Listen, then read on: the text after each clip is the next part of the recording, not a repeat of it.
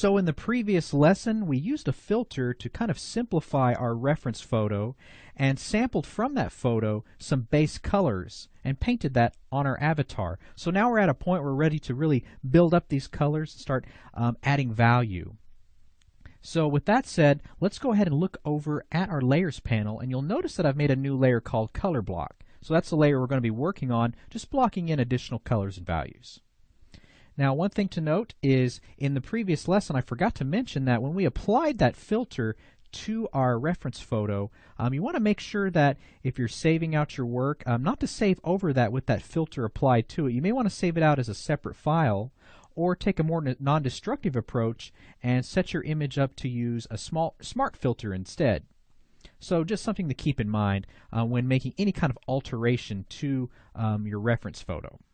So let's go ahead and get started by selecting our base colors layer and I'm going to go ahead and go over to my tool panel and grab my magic wand tool and I'm just going to select all of these areas where I've got my base color for my skin. These are some of the primary areas that we're going to be focusing on first and start building up um, additional colors and values. So with that done, let's actually go ahead and click back on our color block layer. And going back to our tool panel, I'm going to grab my brush tool. And we're going to go ahead and set up our brush tip a little bit differently. Um, we're going to go ahead and go with the hard round brush. Just sizing that up a little bit. And going back to our brush panel, I'm going to go ahead and click on transfer only this time and I'm going to make sure that pen pressure is enabled for both opacity and flow. Now I'm doing this because I am no longer need to block in any flat um, solid areas of cover color rather I'm just going to start building up color. So having control over the opacity and flow with pressure sensitivity is really going to help do that. So again, we can go ahead and continue to sample some colors from our reference photo. And this really gives us a good advantage to just kind of block in some additional colors.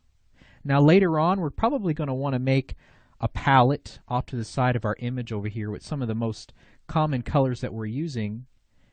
And we can sample from that, and we'll start eventually sampling just throughout the the, uh, the confines of our avatar. But right now we just want to get some some base base values and base colors in. So I'm kind of trying to start from light to dark. As I mentioned in the previous lesson, I'm kind of treating this like I would a watercolor a watercolor painting where you kind of have to start out working light in watercolor and building up your darks. You can't really go in reverse um, with that particular medium. So as I do this, I'm just looking at my reference photo over here. And having simplified it using that filter kind of also allows me to see just where some of the, the key shadows primarily fall on the form. And so we're going to not only be adding in additional color, but we're also going to be focusing on the values as well and how well these values read at a smaller size. Now, often we uh, go under the misinterpretation that color is the most important thing when applying it to any kind of image, but it's really it's really the, the, the values. The impression of form is mainly supported by values and not so much color. So we're going to be really focusing on getting our values right and not just the colors. So I'm just kind of blocking in where I see some of these main shadows just on the on the form overall. And periodically we may want to just zoom out and just see how that shadow reads. Now what can often happen as we shrink our avatar down to a smaller size is shadows that may be too dark can just get really muddy. And it's just going to create a lot of confusion when trying to um, make that avatar read visually clear at a small size. So I'm just kind of going around roughing in some where some shadows are just looking at my reference image here. And I may want to go ahead and just sample from some other areas here and as I do this, I'm just holding down Alt, still using my brush tool, which allows that eyedropper to appear. And he's kind of got this 5 o'clock shadow kind of around his, his mouth area. So I'm just kind of sampling from some different areas to bring that in. Now at first glance it looks kind of gray, which which is which is fine, but there are a lot of colors that a camera sometimes doesn't interpret just right if we were looking at this guy um, in real life, in person, and we were painting him, we may see some colors that the camera might not pick up. So I may want to actually bring in just a little bit of blue into that stubble. This is just going to add to add to the overall visual appeal of our avatar. So right now, I'm not worried about everything looking just super perfect, super clean. I'm just roughing in, blocking in where we've got some sh just sh different shadows on here. So we've got a lot of highlights over here on this side of the head, and I'm going to want to be careful not to blow any of those out too bright. We're going to try to really keep a good balance between our lights and our shadows just on this image. Kind of coming around here on the screen right side. It's kind of blocking in some of these highlights that we have over here. Just some of the very noticeable ones. So I'm already starting to get just what little we've done here in just just around six minutes. We've already started to develop the form out. Our avatar has a lot more dimension and form, and I think it's going to read well when we shrink it down.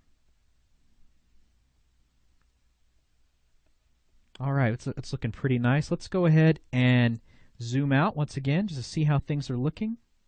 And at this point, I may want to go ahead and hit Control D on my keyboard, just remove that selection. I think we're at a safe enough point to do that now. And I'm just going to periodically go over here to my swatches panel and start bringing in just some additional colors that I see. May want to pull some green into this shadowed area. You'd be surprised how much green and blue shows up in the face under different lighting situations. So just kind of blocking in some of these different areas. Going back over here to my reference photo, may want to grab just some other values to work into our avatar over here. And he kind of has a little bit of a shadow area over here. And just zooming out again. Let's go ahead and focus on the hair too while we're at it. And I may just want to bring in some black. He's got pretty dark hair. And just kind of right here in the center, we have kind of that, that darkest area. This is kind of what you would call, you know, from the lighting standpoint, where the light really meets the dark area. We have kind of what you call the core core shadow if you were thinking of his head kind of like a sphere. So just again blocking into some real rough rough colors. Once we get all our colors and our values pretty much roughed in, then we can focus on just starting to blend everything together, make everything look nice and clean so it'll register well at a small size. All right, that's starting to feel feel pretty nice, starting to get an idea of the form. I'm just trying to study how these how these values differentiate on the hair. Let's go ahead and zoom out one more time. And if we look closely at his eyes, he's got a little bit of orange in there too. So I may want to bring uh, just a little bit of little bit of orange in. Very nice. And he's got a highlight on his nose too. Kind of has a sharp, sharper highlight area right along the side there. Now I'm also putting to account that I turned some parts of the face. You know, in the previous lesson I was talking about turning turning the nose to look a little bit more forward just so everything reads a little bit better. I kind of turned that ear on the screen right a little more forward just so it wouldn't come off as visually confusing when shrunk down. And those are just some things that you want to keep in mind when working on something like this that'll be shrunk down. So I'm just kind of looking at the lips, kind of bringing in some different value, different colors of pink and red into the lips. May want to add a little bit of a, a little bit of a highlight, just coming across there. All right, that's starting to feel pretty nice. I'm liking where this is going. Now just zooming out, I can see that we've got some areas that are getting a little too dark, a little too muddy. And so we're going to definitely want to keep an eye on that, especially in the next lesson as we begin to start blending some of these some of these colors and values together. So I just brought a little bit of a little bit of red into his cheeks. All right, that's feeling pretty nice. So in the next lesson, we're going to basically continue on painting our avatar, and we're going to start really refining and blending everything together, blending all our colors and values together. So we'll see you then.